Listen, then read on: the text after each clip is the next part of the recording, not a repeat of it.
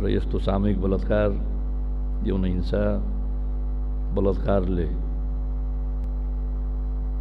प्रायः नपाओस् त्यसका लागि यो घटनामा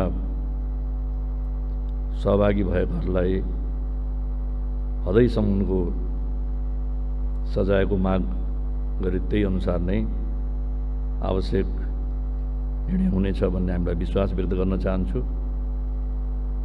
र अघि मान्यजीहरूले भने जस्तै यौन हिंसालाई कसरी दुर्सान गर्ने? बलात्कार र सामूहिक बलात्कारमा प्रताडित भएका नारीहरूलाई सम्मानजनक जीवन जिउनको लागि वातावरण तयार गर्नुपर्ने।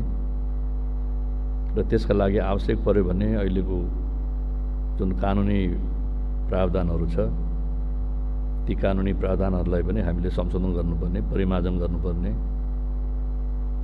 आवाजहरू उठिरहेको छ। ती विचारहरूसँग म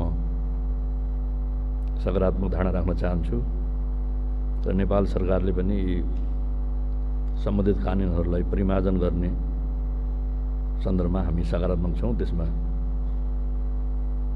अगाडि बढ्न सकिन्छ भन्ने विश्वास व्यक्त गर्न चाहन्छु।